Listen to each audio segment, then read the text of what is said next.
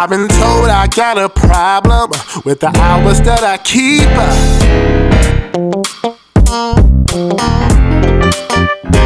See, I work until the sunrise, and at noon I'm still asleep.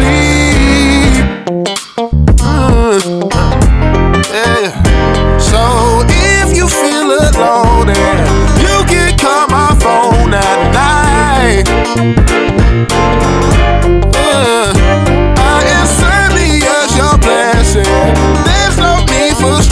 Yeah.